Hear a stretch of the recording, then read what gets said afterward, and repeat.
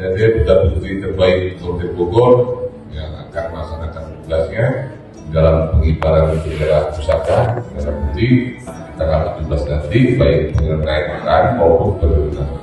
Dan sekali lagi kita semua berdoa dan semua